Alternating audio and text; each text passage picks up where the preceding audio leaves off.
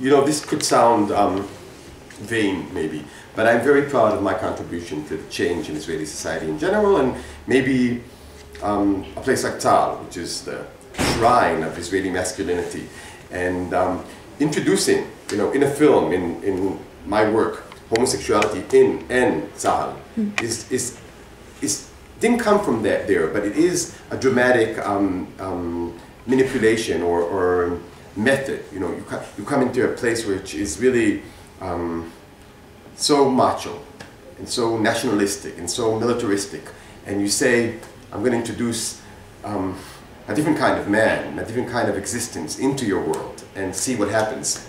So, but that, you know, of course, it, it, this comes, it goes back to my experiences in Tzahal. I, I, I was enlisted in 1982. Uh, the Lebanese war, which was a very bad experience. My friend Ari Folman, who made Waltz and Bashir, kind of, you, can you can see how terrible and how traumatic that was from all our generation.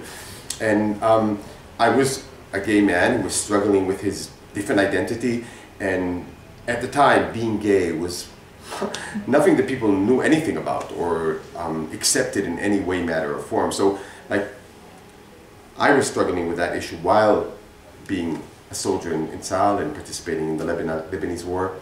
So, you know, that was started there and then became maybe even an agenda or a need to say, let's shake everything up. We, have, we need change in Israeli society, we need change in Tzahal.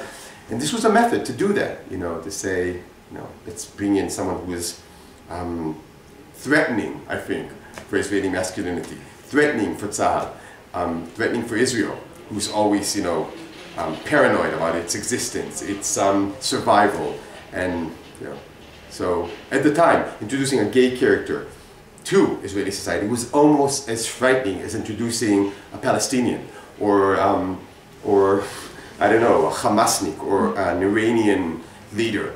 And that was really very frightening, I think, for the Israeli traditional man.